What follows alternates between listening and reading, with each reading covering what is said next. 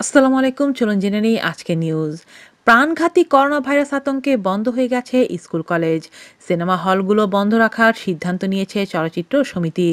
এরই মতো ছাড়পত্র পেয়েছে সুপারস্টার শাকিব খান ও বিউটি কুইন শবনম বুবলি অভিনীত চলচ্চিত্র বিদ্রোহী।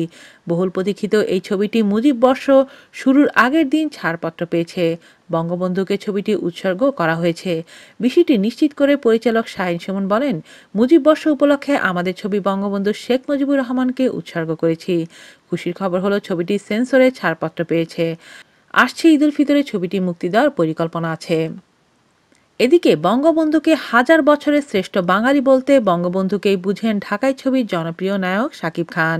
বঙ্গবন্ধুকে নিয়ে তার কাছে জানতে চাইলে শাকিব খান বলেন, দিবসটি উপলক্ষে বিস্তারিত কর্মসূচি গ্রহণ করা হলেও করোনা ভাইরাসজনিত বর্তমান বৈশ্বিক পরিস্থিতির কারণে মুজিববর্ষের কর্মসূচি পুনর্বিন্যাস করা হয়েছে। বঙ্গবন্ধুর সব দলমতের ঊর্ধ্বে বাংলাদেশের জন্য তার অবদান অনেক। বাঙালির জন্য অকাতরে কাজ করে গেছেন।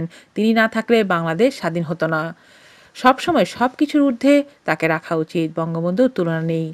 সাকিব খান আরও বলেন, বঙ্গবন্ধুর ভাষণ শুনলে বুকের মধ্যে একটা শিহরণ জাগে।